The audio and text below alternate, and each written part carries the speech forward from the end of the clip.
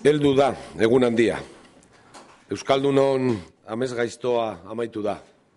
Etak bere porrota onartu du. Eta hau, demokraziaren eta askatasunaren garaipena da. Terrorismoaren biktima oro gogoratu nahi dut gaur. Etak bere presentzia lapurtu zigun. Baina orain, euren memoria gure etorkizunaren zutabe bihurtzen da. Batasuna eta elkartasunerako deia egiten dut, denok batera lagundu behar dugu, behin goz, Euskadin elkarbizitza demokratikoa eraikitzeko. Demokraziak totalismoari irabazi dio. Eta hau Euskal gizarte guztiaren garaipena da, gure askatasuna lortu dugu. Comparezco ante ustedes para valorar la noticia que siempre hemos esperado. Lo dije ayer, es un gran día para Euskadi. Es la gran fiesta de la libertad porque definitivamente hemos derrotado al terrorismo. Hay en Euskadi una generación entera que nació bajo el chantaje del terrorismo, que en toda su vida no ha conocido la libertad plena. Mi Gobierno tomó posesión con la amenaza directa de ETA a cada uno de sus miembros. Y hoy, rodeado de consejeros y consejeras de este Gobierno, puedo decir con satisfacción que la sociedad vasca se ha sacudido el chantaje del terror, que la razón se ha impuesto a la sinrazón, que la democracia ha ganado al totalitarismo, que el Estado de Derecho ha vencido la violencia terrorista y que la sociedad vasca ha conquistado su libertad. Nos ha costado mucho tiempo y mucho dolor. Y por eso quiero recordar en primer lugar a los ausentes, a los que han sido asesinados por el terrorismo. Hoy todos los ausentes se hacen más presentes que nunca.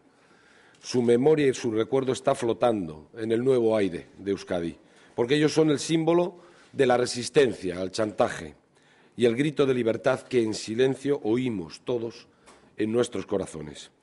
Hoy es día de felicidad y de recuerdo, de reconocimiento a todos los que han quedado en el camino de la libertad. El fin del terrorismo es la ofrenda que las personas libres hacemos hoy a todos los familiares de las víctimas del terrorismo.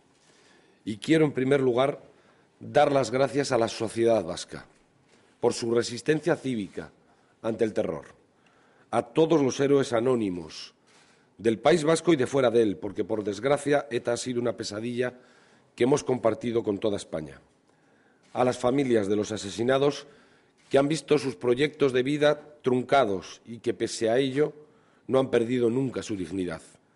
Quiero dar las gracias a todas las personas que apretaron los dientes para poder aguantar el dolor por los amigos asesinados, a las que han soportado el chantaje, a las personas que no han renunciado a seguir siendo libres, a las que han sabido resistir a la amenaza y han defendido la democracia y la libertad.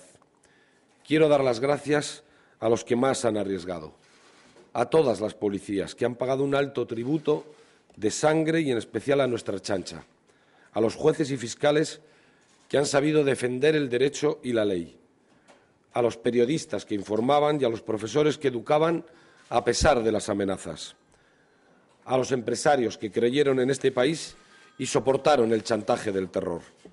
Todos ellos han cumplido con su deber ciudadano y han sido los artífices de nuestra libertad. Quiero también agradecer su esfuerzo a todos los gobiernos de España que nos han ayudado a los vascos a poner fin a esta pesadilla y sobre todo a los anteriores lendacaris que tanto tuvieron que soportar y que mantuvieron la dignidad de este país. Con ellos me voy a reunir porque su conocimiento y su experiencia es un caudal que debe de servirnos para manejarnos en este nuevo tiempo. Hemos vencido a ETA porque los demócratas hemos sabido defender con firmeza nuestras convicciones porque hemos proclamado los valores democráticos en los peores momentos, porque hemos recuperado paso a paso los espacios secuestrados a la libertad, porque las instituciones nos hemos negado a ser juguetes en manos de los que apoyaban la violencia. En Euskadi no hemos tenido dos bandos enfrentados. Ha sido el combate de la libertad contra el totalitarismo. Nuestro conflicto ha sido el causado por una minoría fanatizada y totalitaria que ha atacado a la democracia y a nuestro autogobierno. Y hoy, con su final anunciado, no nos regalan nada. nada les debemos y nada les vamos a pagar. Nos deben años de dolor. Nos han robado durante muchos años la libertad de la ciudadanía que por fin estamos recuperando. Euskadi se ha construido a pesar de ellos, pero han distraído muchos esfuerzos y energías. Y hoy abrimos un nuevo tiempo, una nueva oportunidad para todos. Hemos derrotado al terrorismo y ahora tenemos que construir la convivencia.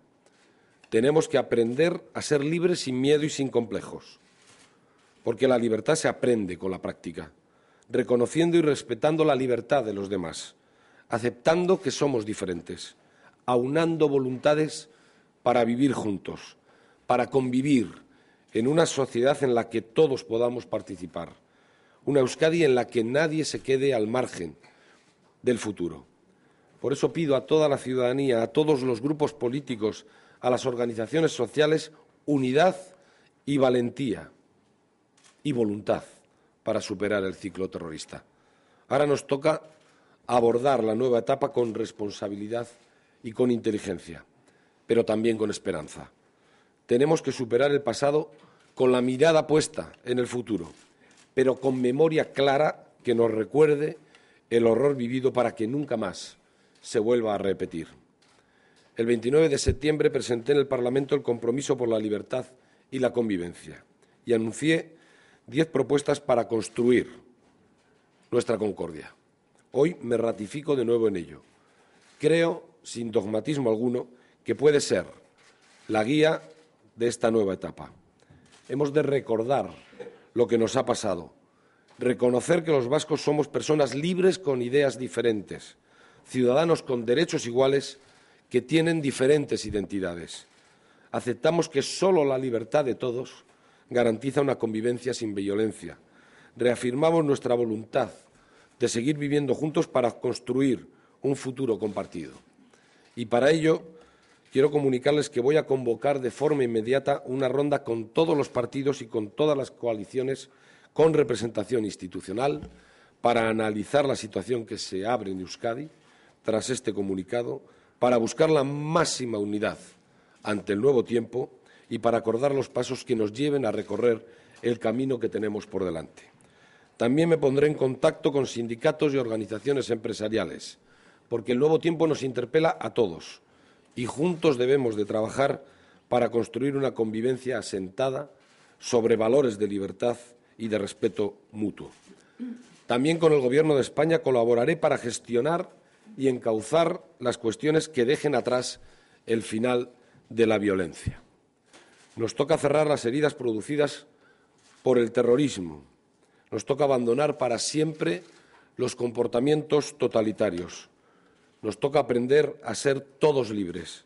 Nos toca hacer la democracia más amplia, más fuerte, sin miedos. Nos toca recuperar para la democracia a las personas que hasta ahora no han querido integrarse en ella. Cuando la democracia gana, ganamos todos y salen derrotadas las ideas que niegan la igualdad. Salen derrotados los comportamientos totalitarios y gana la sociedad vasca, gana la libertad. Y hoy empezamos a vivir plenamente esa libertad. Es que ricasco.